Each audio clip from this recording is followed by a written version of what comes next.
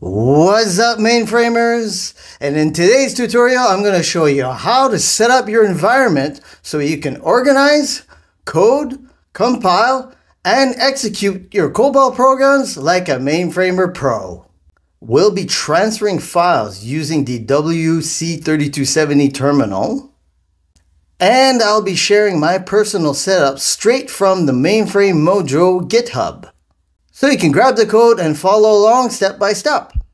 And if you don't have access to a mainframe, that is not a problem. I got a link in the description down below where I show you how to install the Hercules emulator that runs the MVS 3.8 IBM mainframe software so you can follow along with me and start your mainframe journey today.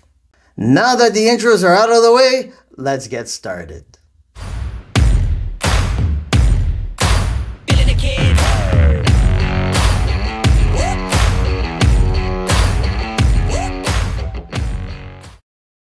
First, let's go to the Mainframe Mojo repository.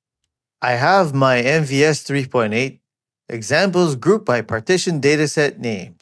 Each folder matches the structures used in my tutorials, making it easier for you to follow along. These dataset names also represent the target locations you'll need to specify when sending files via the file transfer of WC3270. So let's go get the proclib. I have a custom proclib called COBUCL2 to store my compile procedures. It's where I keep reusable JCL setups for building and running code, especially COBOL programs featured on my channel. So just click on the download icon to save the file on your drive. You will also need the setup DV job that is currently in the CNTL dataset it quickly allocates your project's dataset so you're ready to transfer and compile. So go ahead and download this file.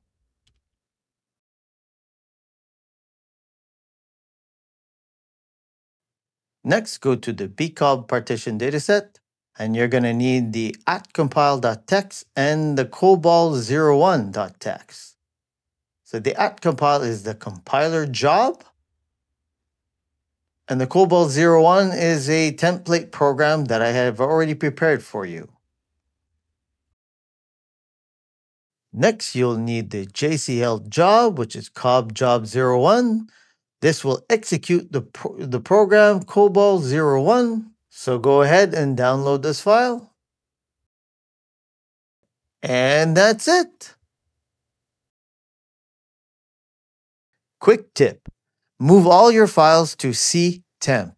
It simplifies the file transfer process later on, especially when using WC3270.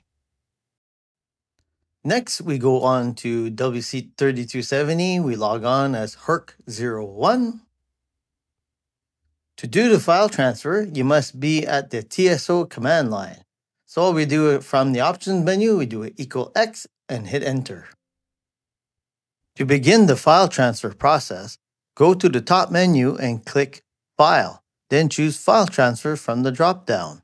This opens the interface where you can send or receive files. So for this question, we say yes, and we wish to send from our workstation to the mainframe. So we type send and hit enter. Next, we need to specify the location of the file on our C drive. So we type in C colon backslash temp backslash setup dv dot text and hit enter. Now we have to tell the system where to send your file by entering the dataset name. It must start and end with a single quote like herc01.test.cntl, open parentheses, put the member name as setup dev, close the parentheses, and close the single quote, and hit enter. For the host type, it's always TSO. Hit enter. Transfer mode is always ASCII, so just hit enter remove, hit enter. Remap is yes, so just hit enter. Hit enter. Default, hit enter. Block size, hit, just hit enter. Default again, hit enter. Hit enter again. Yep, just hit enter again on this one. And then this question, you want to type yes. And there you go. Hit enter to get out. Type in ISPF, hit enter. We do it equal 3.4.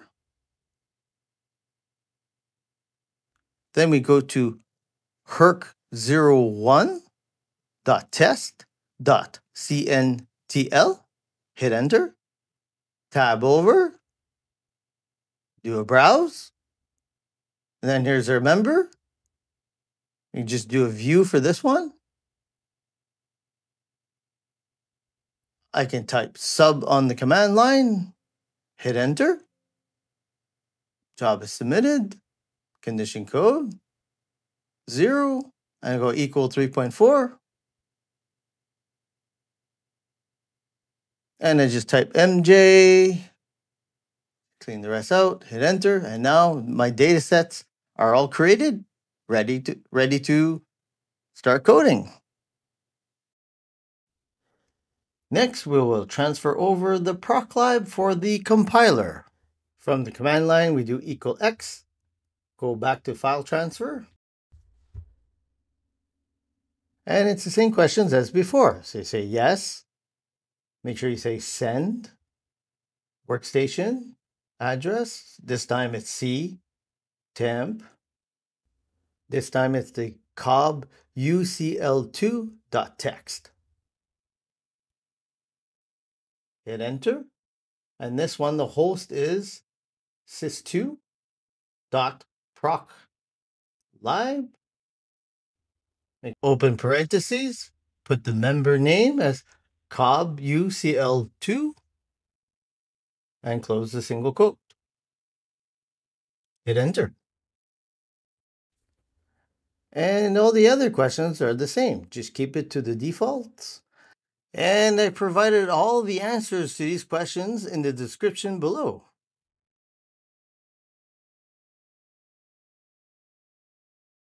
Now repeat the same steps for the following members.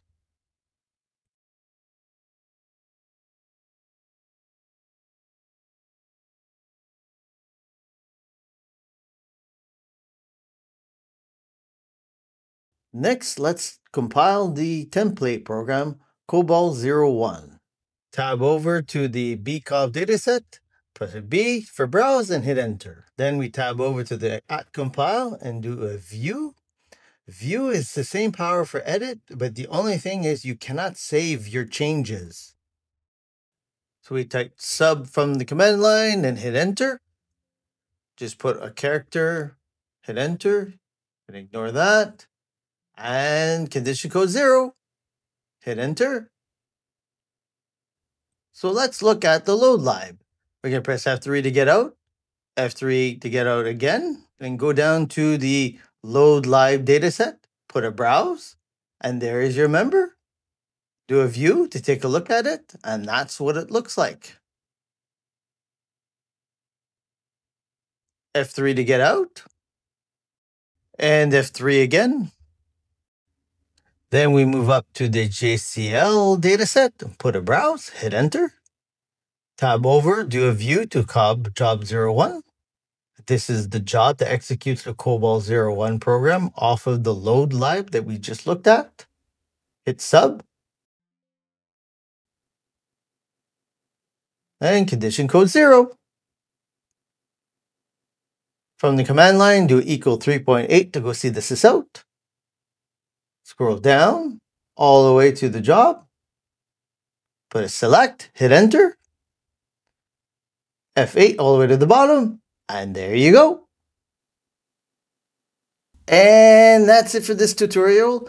If you found this tutorial helpful, then I would like to ask you to please smash the like and subscribe button down below so you'll be notified for more mainframe tutorials coming your way. And don't forget to drop a comment down below if there's any COBOL subjects you would like to see. Until then, I will see you later.